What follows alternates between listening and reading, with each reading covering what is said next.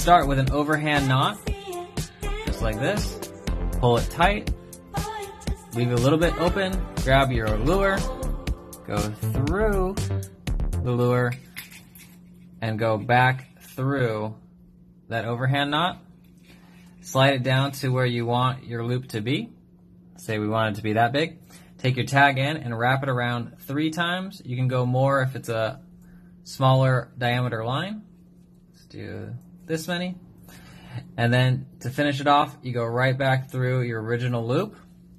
Pull your tag end. And before you go all the way tight, get it wet to help that knot cinch down securely. And then pull tight. Boom, just like that. And you're ready to go.